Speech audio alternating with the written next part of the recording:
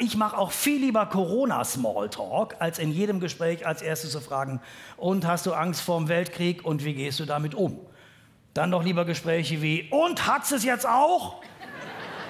Ja, selbstverständlich hatten doch alle inzwischen, oder? Nein, ich hatte es nicht. Ich sag nur Blutgruppe 0. Blutgruppe 0. Ja. Ach, hör doch auf. Ich kenne so viele mit Blutgruppe 0, die es auch hatten. Ja, es kommt doch auf den Aszendenten an.